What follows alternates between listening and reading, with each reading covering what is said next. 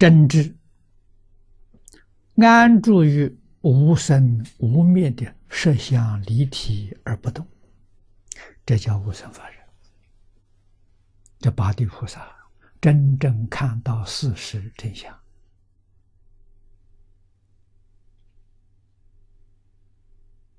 啊，完全明白了解了。他在一切法里头。六根接触六尘，如如不动，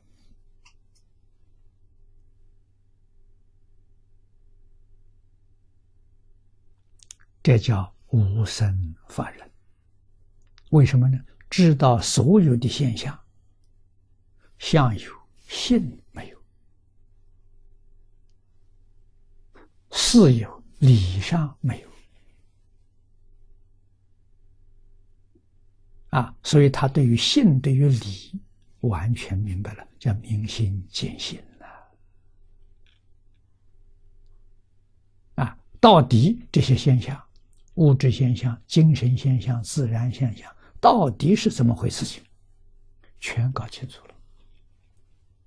所以他能够在一切现象里头如如不动，不起心不动念。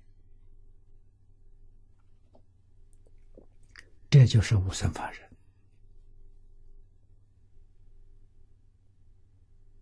啊！它起不起作用呢？起作用，起什么作用呢？教化众生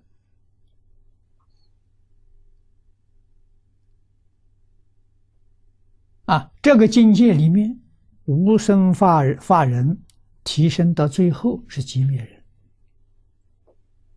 无生法人完全了解了。他住在十八土，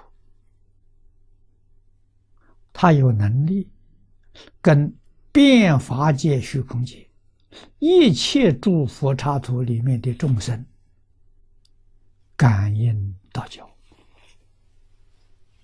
所有众生起心动念，起心动念，我们身体就像一个发射台一样，啊，电波发射台，我们起心动念，念头才动，就周边法界。这个还原观上讲的很清楚，啊，贤首过世，我们读过，啊，不但我们念头啊一动念的时候，变法界、虚空界全都知道了，啊，我们的身体，身体是物质现象，物质现象，我们身体，我们知道这细胞组织的，细胞再把它分，再把它分，分小就变成了分子。啊，分子再把它分的时候，就变成原子。啊，纵然分分到极微之微，啊，现在科学家把它分成量子，啊，小光子、微中子，这分的最小了，它是波动现象，它还是在波动。换一句话说。它也在放射，把这个信号啊发出去。一切诸佛如来都收到啊，受到这个物质现象的波动，知道你什么？知道你健康状况。我不他知道你健康状况，他知道啊。你念头呢发出去的时候，他知道你在想什么。所以我们一定要晓得。满不了佛菩萨了啊！这个十宝庄严图，初住以上都有这个能力，能力大小不一样，但是他们通通都能收到，通都感受到。越是位些地位高的，他越清楚啊。下面一点比较模糊一点啊，你像这个初住、二住、三住，他他这个信号他收到模糊。实际上，我们也收到啊。变法界、虚空界，我们这个这个自信也能收到。收到怎么样呢？不起作用，是收到了，收到没感觉。这是是怎么回事情呢？我们的烦恼业障太重了，就是我们这个机器有故障。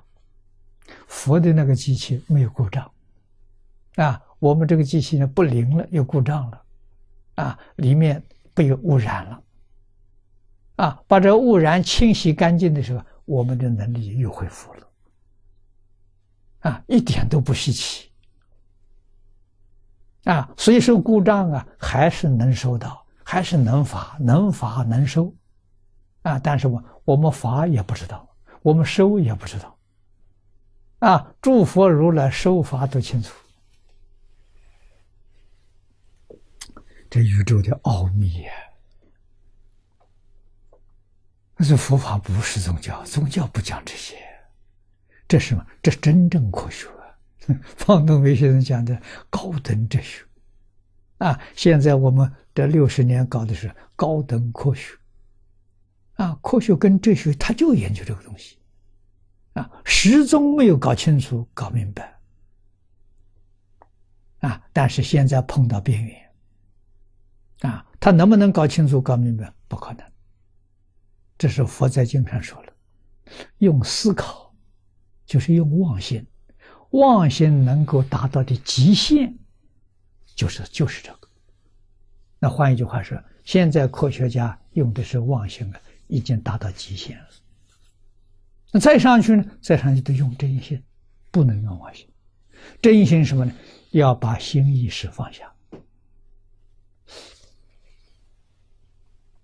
心是阿赖耶。啊，这是一切妄念的根源。啊。第六意识是执着。啊，这个是分别。第七识是执着，阿赖也是起心动念，啊，那放下心意识呢，就是不起心不动念，啊，放下阿赖耶，不分别放下第六识，不执着放下第七第七识，啊，这三个通通放下了，真心就现前，啊，这三个是妄心的障碍呀。我们能把这个除掉的话，问题就解决了。